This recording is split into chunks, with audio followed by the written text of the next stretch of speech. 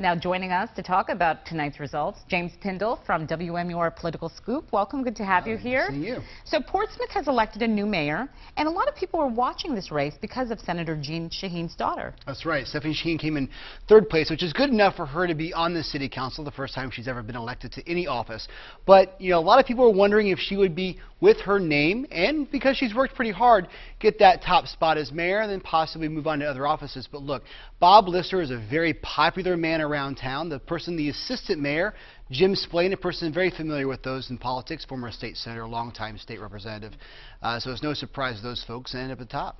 Okay, so let's talk about the state's biggest city right here in Manchester. A third term, Mayor Ted Gatsas is reelected by a margin that some Democrats might find interesting. Boy, you're really smart to pick up on that. Obviously, Ted, Gatsas has to be happy that he got elected to a third term. But look at that margin. Two years ago, he wins by 40%. In September, during the primary, he wins by 15% against the same opponent. Tonight, he only beat by six. So if Ted Gatsas thought this would be the launching pad, maybe for a gubernatorial run next year, he's got to be wondering exact, what exactly happened tonight. Got to watch that one. Okay, so some history also made in the Granite State tonight.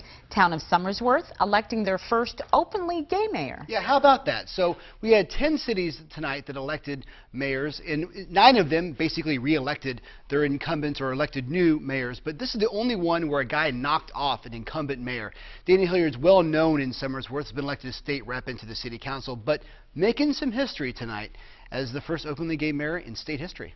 Very, very interesting night as always in New Hampshire politics. James, thank you very much Thank for you. staying up Thanks late with us tonight.